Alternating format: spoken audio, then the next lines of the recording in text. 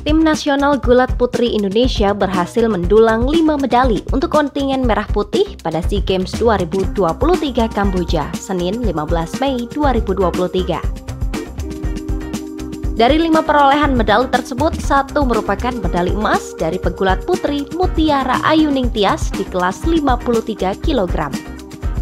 Sementara itu tiga perak masing-masing diraih oleh Chandra Marimar di kelas 55 kg, Karisma Tantri Herlina di kelas 62 kg, dan Faradisa Septi Putri Hidayat di kelas 76 kg.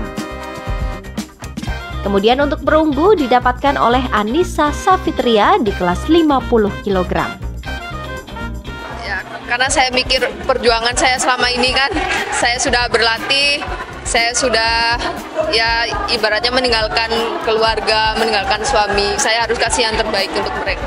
Ketua Umum Pengurus Besar Persatuan Gulat Seluruh Indonesia PBPGSI Trimedia Panjaitan menilai para pegulat sudah tampil maksimal terlepas dari ambisi yang membuatnya terburu-buru menyelesaikan pertandingan. Trimedia berharap para pegulat bisa mengontrol emosi dan energi saat berhadapan dengan lawan di atas ring. Hari ini kita dapat putri semua ini, kita dapat satu emas, tiga perak dan satu perunggu.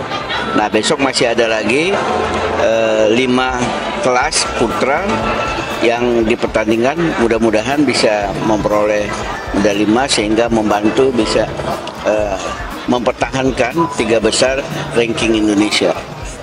Dengan prestasi gemilang di SEA Games 2023 Kamboja, Trimedia berharap para pegulat nasional bisa dipersiapkan lebih baik agar dapat mengikuti kejuaraan-kejuaraan mendatang di berbagai tingkat.